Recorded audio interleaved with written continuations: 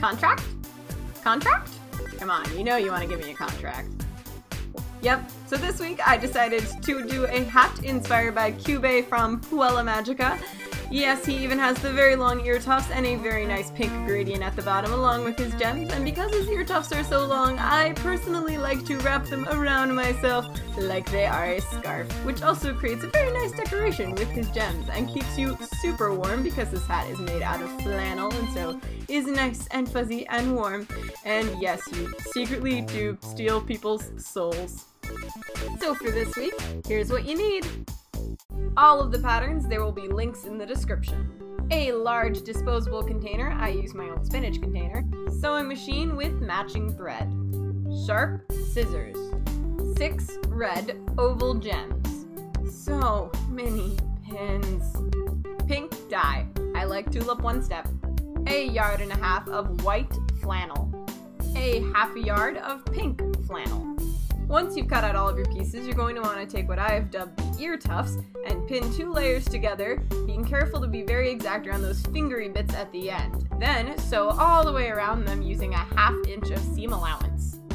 After you've done that to both ear tufts, you're going to want to go around with a pair of scissors and cut relief cuts anywhere where it's curved, being careful to cut through the fabric but not through any of those threads. This is so everything lays nice and flat when we turn it right side out. Speaking of which, go ahead and start turning it right side out. I just reach inside and grab some, and then for the last bits, those fingery bits, I just grab a pencil that is dull so it doesn't have a sharpened tip, and just kind of poke it through, being careful to try and pull as much out as you can without breaking any of those threads.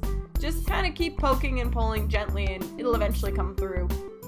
Once you've turned both ear tufts right side out, put them in a bowl and then pour water on top. You want there to be just enough water to go over and then push it around. Then leave them in there for 15 minutes. While waiting for your ear tufts to soak, go ahead and take the cap part, of which you're going to actually cut out eight pieces for, and then split them up into pairs. So you're going to have four pairs and make sure you pin one side of each pairs together and then sew down with a quarter of an inch seam allowance.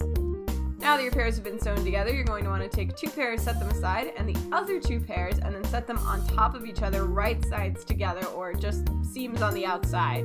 Then go ahead and start pinning them together. Now, the important thing to note is that you actually want to leave a rather large hole in the center, enough for you to get your hands through, because eventually we're going to be flipping the entire hat through that hole. So pin most of the way, but leave a nice hole.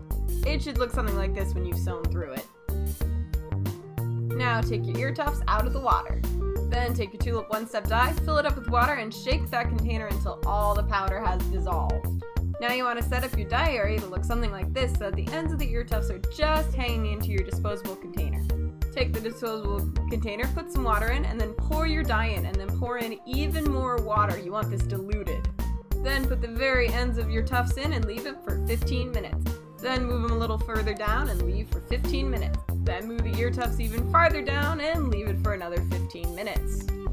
Then take them out, wrap them up in saran wrap or grocery bags, and leave them for 4 hours. Once that's up, rinse them with cold water until the water runs clear. While waiting, let's work on those ears. Take your ear fold and put it with its matching color ear and pin together. Do this for all four ears, so two white and two pink.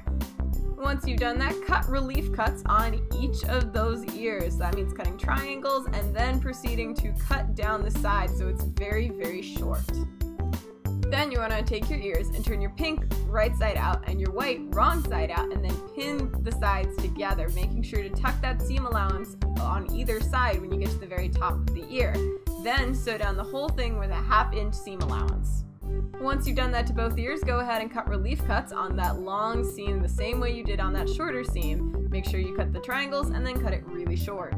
Then flip the ears right side out and iron the edges as flat as you can possibly get them. You're gonna have to leave it open for that. Then once they look nice and pretty, fold the ear flap on and then iron it again to make sure everything stays put.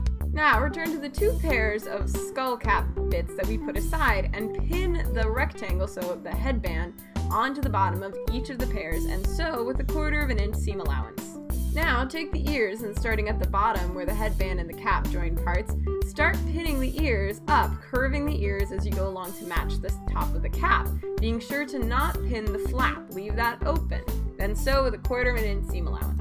Now, at this point, you need your ear tufts to be dry, so make sure you hang them up once the water runs clear so that they're dry. Now take the half of the hat that you sewed the ears to and start tucking the ear tufts inside so that they run parallel to the headband. Once you have the ear tufts laying even in both ears and parallel to the headband, go ahead and take the other half of the hat and start pinning it on, sandwiching the ears with the ear flap folded and the ear tufts between the two caps.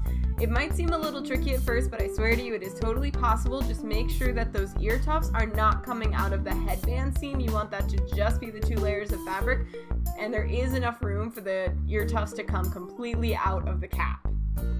Now just go ahead and take your scissors and trim all around that seam allowance, making sure especially to trim those ear tufts because they're way too long. Once it's all trimmed, you're going to want to take that cap piece that we sewed that still has a giant hole in the top and start feeding the entirety of the hat through that hole until the bottoms match up.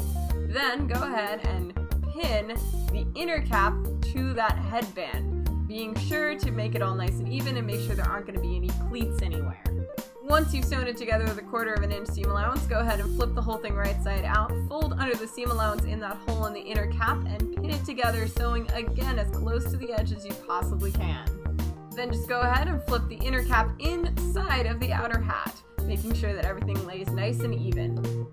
Then just take your six red gems and glue them onto the bottom of Kyubey's ear tufts, making them match approximately with the fingery bits at the bottom. Then, you're ready to go grant wishes! And make the world a better place by being your adorable, cute self that asks for contracts all the time and may or may not take people's souls. But you're just so cute!